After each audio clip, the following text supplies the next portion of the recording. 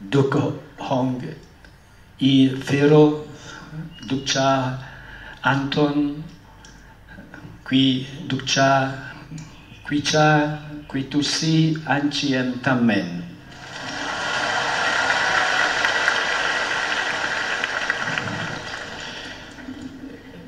It is with a great joy that I am able to come to Dalat in this uh, auspicious occasion of the ordination of uh, Bishop Damin. Thật là một niềm, niềm vui lớn lao tôi có thể đến đây dự thánh lễ chuyển chức của Đức cha Đa Minh Nguyễn Văn Mạnh sáng nay. Dalat is uh, a beloved diocese uh, which has still good memories of the special link with the Holy See in the pontifical in Pontifical College of Pius X. The Diocese of Dalat is a beloved diocese because has still good memories of the special link with the Holy See in the Pontifical College of Pius X. Lạt là một giáo phận đầy yêu thương, còn có những dấu ấn của giáo hoàng học viện là giáo hoàng thuộc quyền đức của quyền tòa thánh Roma.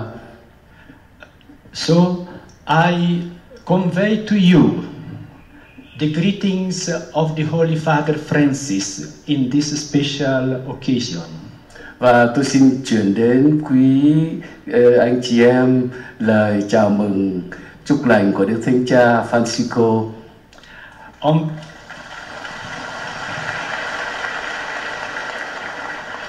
on behalf of the Holy Father Francis, I greet you, all of you, with the words of Jesus Christ. Và nhân danh Đức Thánh Cha, tôi xin chào mừng tất cả quý anh chị em với, với lời của Chúa Giêsu. Bin an qua chua hang o kung an chi em.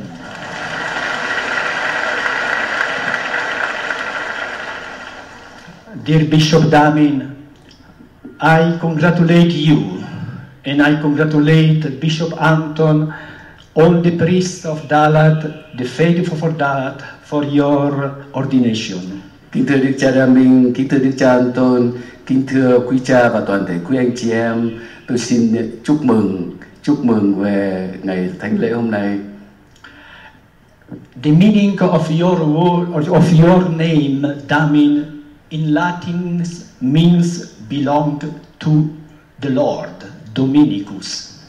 Và tên của Đức Cha trong nghĩa là trong tiếng Latin có nghĩa là thuộc về Thiên Chúa. So you are asked to be now the Christus Dominus, uh, an image of Jesus Christ among the faithful of Dalat. Và bây giờ Đức Cha được mời gọi trở thành hình ảnh của Thiên Chúa Cha qua Đức Giêsu Kitô cho toàn thể giáo dân. And uh, your family name is Man, that means power, strength, and you are asked to be among your people a strong shepherd. Và tên Việt Nam của Đức Cha là Mạnh. Vậy là sức mạnh. Vậy xin Đức còn Đức Cha cũng được mời gọi trở thành vị mục tử mạnh lớn mạnh cho giáo dân. But is the strength coming from Jesus Christ, the strength of humility, the strength of serving your people. Và sức mạnh đến từ Chúa Kitô là sức mạnh của sự khiêm nhường, của phục vụ.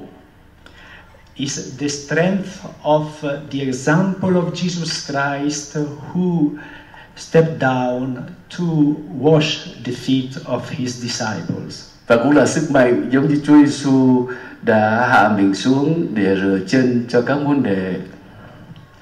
You choose to be ordained in the day of the visitation of the Blessed Virgin Mary to her cousin Elizabeth.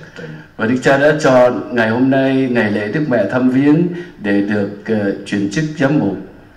So, like the Blessed Virgin Mary, you now begin a new journey and you have to go out from your house to reach the people, to reach out the people. I, like the Blessed Virgin Mary, went out to meet Elizabeth. và bây giờ cũng hãy bắt chước giống như Đức Mẹ Đức Cha bắt đầu cuộc hành trình đời giám mục của mình hãy đi ra ngoài đến với giáo dân And in Dalat, there are in the diocese there are also still many people who doesn't know the truth, the gospel of Jesus Christ. và tại Đà Lạt dĩ nhiên cũng còn rất nhiều người chưa biết đến danh thánh Chúa Giêsu Kitô So, like the Blessed Virgin Mary, go and meet that people, those people, so that they can knew the truth of the gospel. vậy cũng giống Chúa giống như Chúa Giêsu Đức Cha hãy đi ra đi ra gặp gỡ những người đó những dân những người chưa biết Chúa Giêsu để họ cũng được đón nhận tin mừng In today's gospel, Jesus said there are still sheep that are not in our flock. Also, these sheep should be met, should be reached out và trận như phúc âm trong phúc âm chúng ta mới nghe là còn nhiều chiên chưa thuộc về đàn của ngài và những chiên đó cũng cần phải được tiếp cận In this week, uh, we are celebrating uh, the preparation to the Pentecost, uh, the gifts of the Holy Spirit. I pray the Blessed Virgin Mary as well Jesus Christ to send to you the in abundance the gifts of the Holy Spirit so that you can lead your people according to the heart of Jesus Christ. và trong thời điểm trước lễ Chúa Thánh Thần tôi cầu xin Chúa Giêsu cũng như Đức Mẹ Maria gửi Chúa Thánh Thần đến trên Cha ban ơn sức mạnh để Cha hoàn thành sứ vụ Xin cảm ơn anh chị